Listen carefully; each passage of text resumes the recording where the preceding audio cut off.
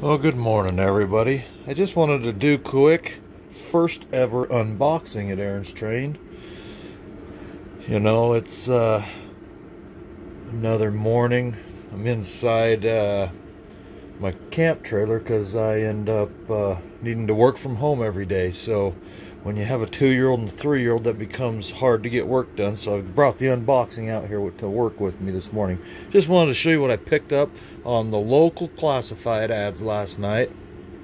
Um, if you've watched any of the other videos, you know I've probably a good 75%, including all the rolling stock, all the locomotives, all of that stuff has been uh, purchased on the local classified. So here's what I found last night at the end I'll tell you what's really what I thought was cool about it. Again some of this stuff has got the old horn hook but my three-year-old who loves trains said he doesn't care. He crashes them anyway. You know another caboose. Okay I got about 100 Burlington Northern rolling stock. You know they're in really good shape couple of the horn hooks are disconnected. My wife loves tanker cars, so there's the Texaco to add to her collection.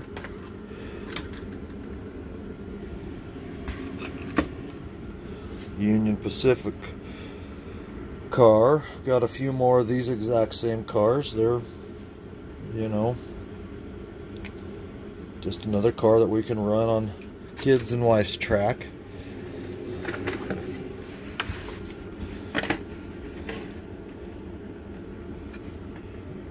Got another locomotive. You know, these things looks like the couplers have been broke off. Again, they're old. But uh, my kids don't care, and you know, I have fun with them, even though they're horn hooks. I will say, horn hooks don't have a lot of dis or derails or uncouplings if your track work isn't 100%. Where I know my newer newer couplers if your track work wasn't real good, sometimes I found them disconnected. One thing I'm kind of happy and I think will be fun is this uh, this Athearn SD42.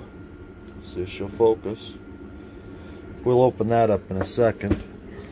What I was really excited about when I saw this, got 10 pieces, brand new, code 100, Flex Track. I like that. The other thing I'm excited about, brand new package. 24, 1, 2, 3, 4, 24, 25 piece, Brand new package of cork road bed. Those items alone, if your local hobby shop, you know, flex track for 36 inches is about five bucks a piece. Man, there's 50 bucks right there. About 250 a piece on the on the Flex-Trak there's about another 15 bucks. Pretty good deals right there. Um, let's look at look over here. Pull the lid off this. Athearn SD 40-2 yeah. Never been assembled. All the parts still in the little package All the handrails. But you know what? It's never been run. It's, it's interesting to look at locomotives that are a little bit older that, uh, you know, I don't have the figures inside of them. We don't have any of that cool stuff we've got now. Obviously DC, which my layout is, but, you know, this never run locomotive. We'll, we'll take it apart and look inside and see how the grease is and how everything is but this may be one that uh, that I end up going ahead and converting to DCC when I convert my system. Um, I think it's kind of cool. You know there's your there's the entire parts list.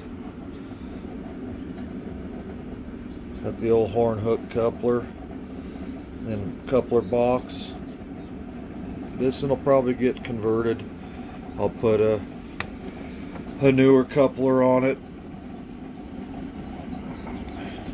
But uh, yeah, kind of fun.